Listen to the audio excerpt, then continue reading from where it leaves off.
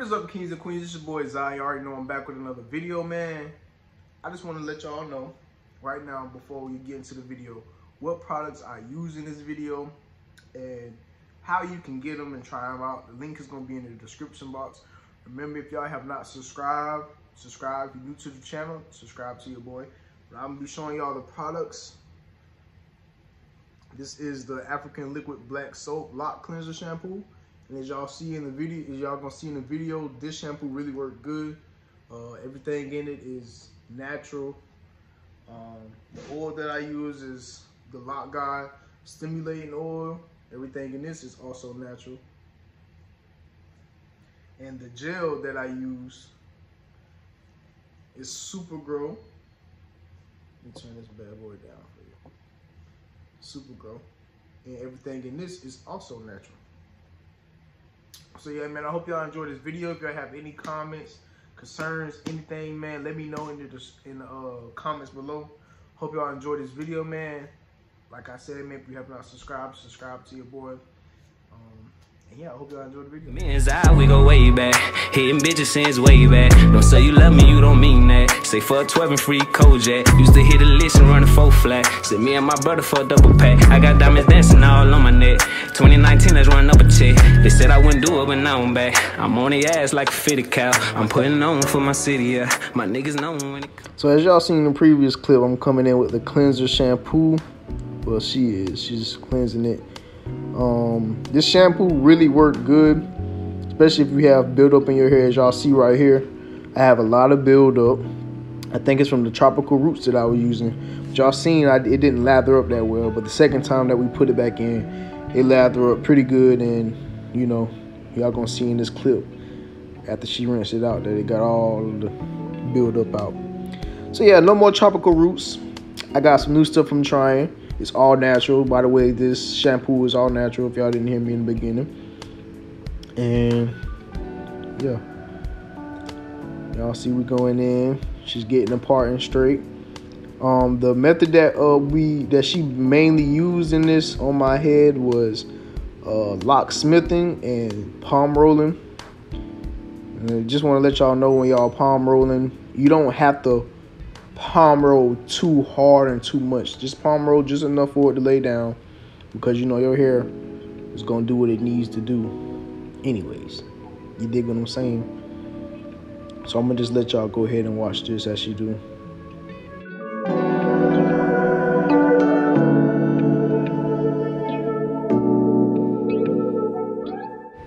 Y'all see she hasn't even applied anything yet. So the locksmithing really works but she's getting ready to apply it to there.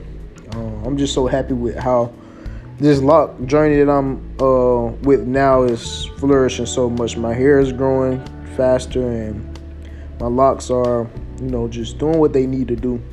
I'm not really, you know, nagging them too much. Just letting them really be locks. That's what y'all forget, man. You got to let your hair do, you got to let your hair do what it needs to do to lock. You can't force it to lock with crocheting because your hair still has to go through a process of the budding up and shrinking up. The it helps, but not as well as you just letting your hair do what it naturally does in this state.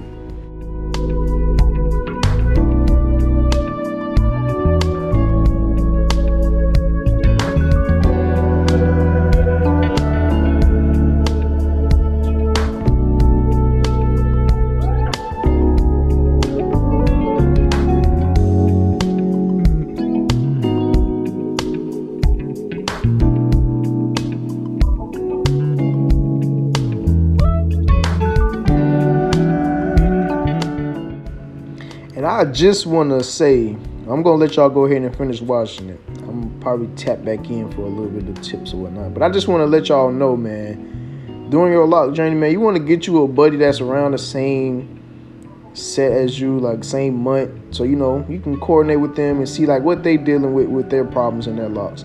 Because I'm telling y'all, just going through the lock journey by yourself is going to be pretty I know y'all hear people talk about this all the time, but you really want to get you a lock buddy so you know you can lock it down with them. But just to let y'all know, if y'all around the same time I am, I'm four months as y'all can tell from the title. Just you know, stick it out, man. Just yeah, how you picturing your hair, man. Just picturing it being better because nine times out of ten, if you looked at somebody locks and you was like, oh, I want my locks like them, your locks are gonna be better than theirs long as you taking care of them the proper way. So just put it in the back of your mind, like, I got these locks for a reason. I'm gonna stick it out and just at least before you get ready to comb them out, because I know people get discouraged and you know, just wait at least a year so you can see like what your growth has been. Maybe you want to come back to it, but like I said in my previous videos, man, y'all want to check those out. Check them out. Make sure when you start your luck, so you won't have to be going back and forth. That you set, you emotionally prepared, physically prepared, and you just in an all well state, an all state of being well, so you know your locks can flourish. As y'all see how mine's. But I'm gonna let y'all boys, y'all kings and y'all queens, get back to the video and tune in because I know it's therapeutic. That's why I try to get, you know, a nice little background music. And excuse, you know, the baby stuff around, you know.